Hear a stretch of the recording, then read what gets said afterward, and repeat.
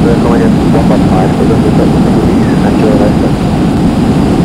Turn out. Uh, when the light and I checked it out, and everything is normal. When we took the the is actually.